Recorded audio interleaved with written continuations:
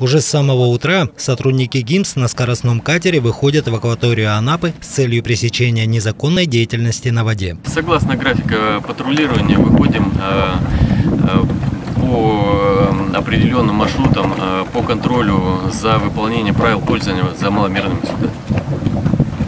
Поэтому сейчас необходим нам факт нарушения правил пользования маломерными судами. Осуществляем контроль, кто нарушает. То есть это без регистрации маломерного судна, возможно, без, без номеров регистрационных, без техосмотра, без технического свидетельствования, а, с нарушением норм пассажиров вместимости. А нарушений действительно много. Начиная от любителей гонок на гидроциклах в нетрезвом состоянии и заканчивая неисправностью и перегрузкой водных аттракционов, которые так популярны среди отдыхающих. Также сотрудники ГИМС следят за тем, чтобы маломерные суда, работающие в прокате, использовались в зонах, которые предназначены для катания и утверждены постановлением постановлением администрации города. Впрочем, в погоне за заработком любители морских приключений грубо нарушают все возможные требования.